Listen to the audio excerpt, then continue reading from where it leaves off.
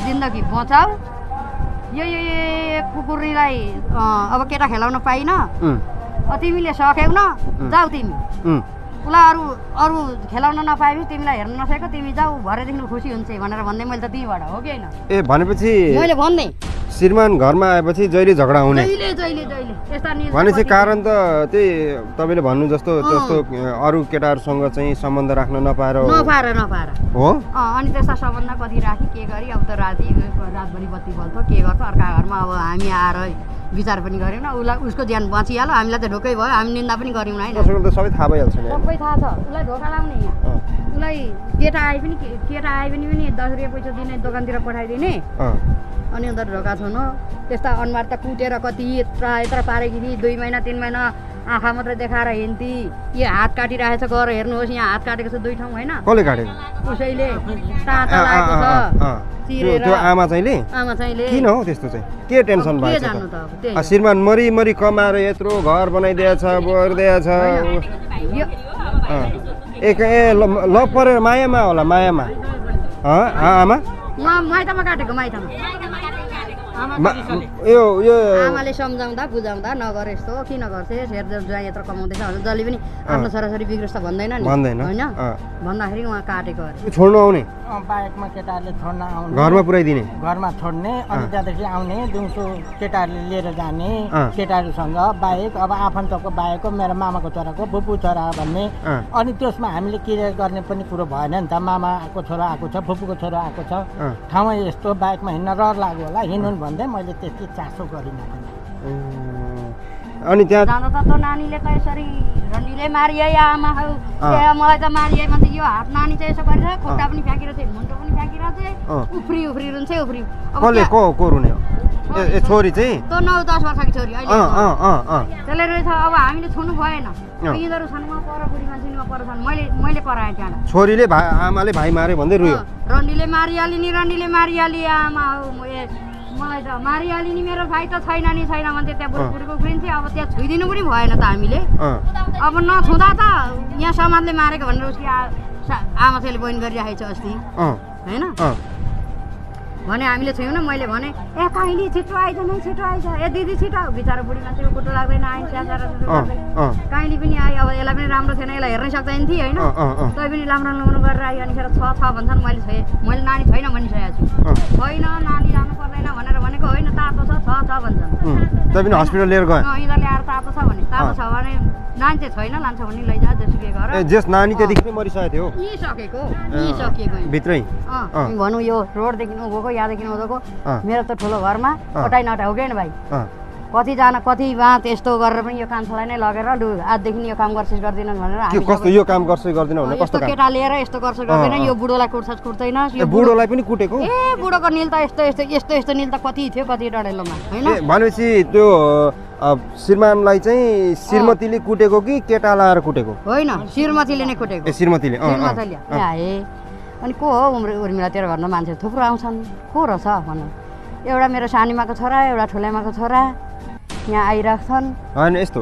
आफन्त आफन्त आउने भनेको कि त चाडबाडमा हो कि होइन? अरू बेला पनि आयो भने पनि आउने एक दिन आउने भोलि आउने दिनकै त आउने नहुनु हामी। चिन्छौँ। फेरि यहाँको परिवारले हामी म चिन्छु सबैलाई। अँ। माइतीपट्टिकोलाई पनि चिन्छु यो ए, चिन्छु। तपाईँ चिन्नुहुन्छ जुन मान्छेहरू यहाँ आउँथे नि। त्यो मान्छेहरू होइन उसको नाता। नाता होइन? होइन होइन। उसको नाता भनिकन कुनै होइन कुनै नभएपछि भनेपछि भनेपछि श्रीमान विदेशमा। श्रीमती चाहिँ यता अरू परपुरुषहरूसँग चाहिँ नाजै सम्बन्ध राख्थ्यो कि? पुरुषहरू त अब रातमा कति आउँथे यहाँ? हामी अब उहाँ हुन त घर मेरो घर हो परको त ठुलो घर हो उहीँ थिएँ म अहिले उहाँको घर हो यहाँ। अँ। अनि यहाँ मान्छे अब तातै आउँथे अब को आउँथो के आउँथो मान्छेहरू थुप्रै आउँछन् भनेको होइन बिमारी रहेछ। मेरो त बडा बाउ उहाँ खुस्किए अरे त्यसो आएको। मेरो बडा बाउको छोरा उहाँ उसमा राखेको छ अरे आइसियुमा। गाडीले हानेर तिनै आएका भन्थे भरे भन्दा किन सोध्थेँ नि त त्यो दिदीहरूलाई म आमालाई सोध्थेँ होइन नानी होइन जहाँ आफ्नै जन्म दिने आमाले ती साना अबोध बालिकालाई घाँटी थिची थिची विवत्स रूपमा हत्या गरेको कुरा यहाँ सार्वजनिक भएको छ। यो घटना सुन्दै आङ जिरिङ्ग भएर आउँछ। एउटा जन्म दिने आमाले त्यो बच्चा त्यत्रो नौ नौ महिनासम्म पेटमा राखेर दस धारा दुध पियाएर ती आमाले कसरी हत्या गर्न सक्छ? एउटा कुखुराले त उसको आफ्नो चल्ला कसै चिलले लाँदैछ भने माथिबाट चिल आउँदैछ भने त्यो बच त्यो कुखुराले आफ्नो बच्चाहरू समेट्नको लागि पुरै पोको पार्छ भने हामी त मान्छे हौ। हामी सर्वश्रेष्ठ प्राणी हो। हामी एउटा शिक्षित प्राणी हो। कसरी एउटा आमाले त्यो पनि आमाले कसरी हत्या गर्न सक्छ? यो विषयमा हामी कुरा गर्नको लागि यहाँका स्थानीयवासीहरूसँग जोडिएका छौँ र उहाँको परिवारहरूसँग पनि जोडेको भिडियो हामी पक्कै पनि सार्वजनिक गर्नेछौँ। आमा भनेको अब यो घर बनाएको दस वर्ष भयो। त्यो बालाखा नानी लिएर अब उहाँ त विदेशमा हुनुहुँदो रहेछ त? विदेशमै थियो पहिले घर बनाउँदा नि विस- विदेशमै हो। यहाँ सर्दा यो बस्ने पनि होइन. दुई तिन दुई चार महिना बस्ने। तर दस वर्ष भयो। दस वर्षमा ऊ उहाँ पर घर भाडा बसेर यहाँ घर बनाइ उम्, त्यहाँ बस्नुन्जेल हामीलाई राम्रै थियो होइन. बाहुनको घरमा बसेको थियो राम्रै होला भन्यौँ राम्रै थियो हामीले मद्दत पनि दिउँ उसलाई। मेरो एउटा भतिजो थियो यो पानी लगाइदियो भन्थे बालाखा नानी थियो त छोरी। अनि पानी लगाइदिन्थ्यो मेरो भतिजोले. अनि लाउँदै लाउँदै यता सरे। सरेपछि ठिक्क यही मात्रै घर थियो यहाँ कसैको घर थिएन। कसैको हाम्रो यताउति घर खोइ थिएन हामी पल्लै छेउमा थियो ऊ मात्रै थिए। ऊ मात्रै हुँदाखेरि अब के गर्नु? आइमे केटाकेटी अब को आयो भन्नु भने मेरो दाजु मेरो भाइ मेरो ठुलेमाको छोरा सानीमाको छोरा भन्थे दिनदिनै दिनदिनै दिनदिनै। यहाँ कार पनि आए बाइक पनि आए साइकल पनि आए सफारी पनि त्यस्तो। त्यस्तो ल बडा बाको छ- चाहिँ छोरा बित्यो अरे कोही आफन्त बित्यो अरे त्यो आफन्तहरू किन आउँथे त? आफन्त किन ऊ पो जानुपर्ने हो त होइन? अनिखेर त्यसो गर्दै गर्दै गर्दै यहाँ भवसागरै हुन आँट्यो। परार पनि आयो। दुईचोटि पहिलो चोटि आयो। श्रीमान चाहिँ विदेशमा छ है? मरिमरि दुःख गरिरहेछ। बिचरा यो श्रीमान आएको छ। आएर एक दुई महिना चाहिँ अब राम्रै हुन्छ होइन। राम्रै हुन्छ। होइन अहिले यो घटनापछि आयो। पहिला जुन बेला चाहिँ आमाले भन्नुभयो नि त्यो योभन्दा दुई वर्ष अगाडि पनि आएको तिन वर्ष अगाडि पनि। त्यहाँबाट यसपालि चाहिँ त्यतिखेर। अनि अब त्यसलाई पुलिस चौकी पनि लग्यौँ होइन पुलिस। चौकी पनि आयो पुलिस चौकी पनि लग्यौँ। थाना चौकी पनि लग्यौँ यहाँ समाज सबै हामी। अनि यस्तो गरेर चाहिँ हामी छेउमा राख्नु सक्दैनौँ भनेर हाम्रो छोरा बुढोहरूले सबैले भन्दाखेरि। अब आइन्दा गर्दिनँ भने त्यहाँबाट पनि चौकी लग्यौँ चौकी लगेर पनि चौकीमा सबै यस्तो फुकालेर देखायो यो कान्छोले होइन त्यो सबै फुकालेर देखायो। देखाउँदाखेरि सबै निल निल निल यस्तो यस्तो सबै। मैले के गरी बाँच्नु त हजुर मलाई यस्तो यस्तो बारेको छ मैले के गर्नु के गर्दा हुन्छ भनेर भन्नुभयो भन्दाखेरि अब के गर्नु त तपाईँले पनि भेटेको छैन मैले पनि भेटेको छैन हामीले पनि भेटेको छैन। भेट्नेवाला कोही छन् भने त्यस्तो छ भने अँ। रङ्गे हात पक्रेर ल्याउनु हामी छोड्दैनौँ। न भनेर भन् भने होइन म चौकीमा पनि। हजुर हजुर। अनि त्यतिकै त्यतिकै अब गर्दिनँ होला भनेर त्यतिकै गऱ्यौँ। फेरि अर्को बाजी पनि छुट्टीमा गएर फेरि आयो। हजुर हजुर। आयो। त्यसको गर्व थियो होइन। गर्व भयो त गर्व। अब के भयो कसो भयो हामीलाई थाहा पनि भएन हामीले खोज्यौँ पनि होइन। अनि त्यतिकै गयो छोरी रहेछ मेरो गयो भनेर भन्थ्यो होला त अनि भन्यौँ। हामीले जेसुकै त विचार गऱ्यौँ न। आफ्नो छोराछोरी कसरी फ्याँक्छ होला त भन्ने भयो नि त हामीलाई नि होइन। भनेपछि त्यतिकै भयो। जस्तो श्रीमान विदेशमा जाँदा जानुभन्दा अगाडि गर्व थियो यसैको यसैको गर्व। होइन? अब श्रीमानको गर्व बसेको थियो श्रीमान विदेश। जाँदाखेरि। त गर्व त्यतिकै फ्याँक गयो म यस्तो लडेँ उस्तो लडेर म यस्तो गएँ भने पगि त खान्छेस् अनिखेर तँलाई यस्तो भयो तँ खानु छोड उर्मिले भनेर हामीले यो गाउँघर इष्टमित्र- भनेपछि त्यो गर्व पनि खेर गयो। दिदी बहिनी हामी सबैले सम्झाएको त्यसलाई। त्यो गर्व पनि खेर गयो कि हस्पिटल गएर दबाई सबै खाएर हामी जान्दैनौँ भाइ त नभएको कुरो गर्नु हुँदैन भगवान् जान्नु। अँ। त्यो नभएको कुरो गर्नु हुँदैन यस्तो बुढी भएको मान्छेले। अनि त्यतिकै त्यतिकै भयो त्यतिकै आयो होइन। फेरि आयो। कति महिनाको वर्ग गर्व चाहिँ खेर गएछ मलाई थाहा छैन भाइ त पनि। जस गर्व चाहिँ थियो। गर्व चाहिँ थियो अरे। पेट देखिन्थ्यो? ठिकै छ हामी त्यो यो हामी बुझ्छौँ होइन। अनि अनि। फेरि अब पोहोर चाहिँ आएको होइन। पोहोर आयो। कहिले आएको भन्छ? पुसमा आएको? पुस्तिर।